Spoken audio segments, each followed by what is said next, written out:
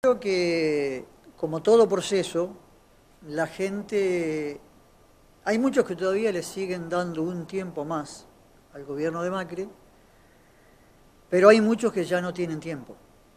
Pero no es porque no se lo propongan, vamos a decir, de la cabeza o del corazón, no se lo, proponen, no se lo pueden proponer por el bolsillo, porque lamentablemente tuvimos eh, un montón de promesas del gobierno, tuvimos, nosotros no porque sabíamos, nosotros ya volvemos siempre a lo mismo, nosotros ya lo dijimos en la campaña hace un año y pico atrás, lo que iba a suceder y está sucediendo lamentablemente.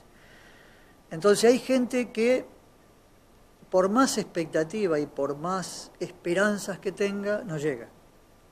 Entonces el padre de familia cuando se sienta a la mesa y le tiene que decir al pibe, eh, mira, vamos a hacer una cosa, vamos a esperar que Macri desarrolle toda la política que dijo con las inversiones que ahora, hoy no coma. Entonces, hay gente que, como decía Daniel, está saltando el charco, ya empezó a saltar el charco. Y por otro lado, si tenemos que llevar la situación del 2016 al 2001, estamos más complicados políticamente. ¿Por qué estamos más complicados políticamente? Porque en ese, en ese momento, con, los grandes procesos que se dieron en cinco días, creo, creo que hubo cinco presidentes, una cosa así, había un vacío de poder tal que cualquiera hacía lo que quería. Entonces, era, era, más entendible el descalabro, descalabro que había porque nadie mandaba nada.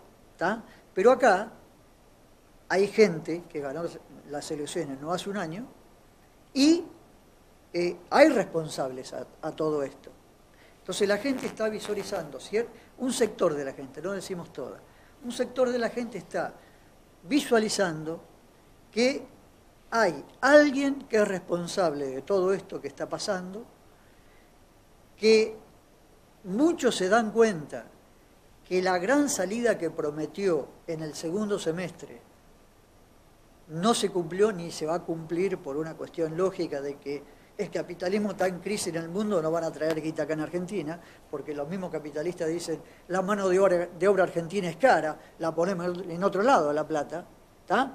Entonces, todos los manotazos de ahogado que, está dando este gobierno, con el acompañamiento de Massa y con el acompañamiento de la Cámpora y con el acompañamiento de las tres CGT, para ver cómo paliamos esta situación crítica que estamos viviendo, nosotros decimos que desde un punto de vista, no sé si no vamos a llegar a un 2001, políticamente, pero económicamente estamos peor que en el 2001, porque el ANSES hoy en día no tiene un peso.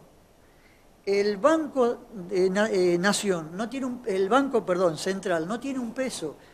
El presupuesto que han votado, por eso eh, es todo este lío que hay con los gobernadores, que si le votan ganancia, el presupuesto que votaron es de ajuste. Entonces, ¿qué le están diciendo? Endeudamiento. Exactamente. ¿Qué le están diciendo a los gobernadores? Muchachos, de la única manera que, nos, ponemos al base acá, y si nos unimos todos. Porque ahora vos fijate el juego que está haciendo Massa. Massa, en un determinado momento, cuando eh, la gente le estaba dando tiempo a Macri, medio que buscaba acomodarse con Macri, votaba leyes a favor de Macri, era, se había amistado con Macri. Hoy en día vos fíjate que el discurso de Massa va todo por la negativa, todo contra Macri. ¿Por qué? Porque se da cuenta que Macri, se está dando cuenta que Macri ya empezó a tener pérdida de control político, que es lo peor que le puede pasar a un gobierno.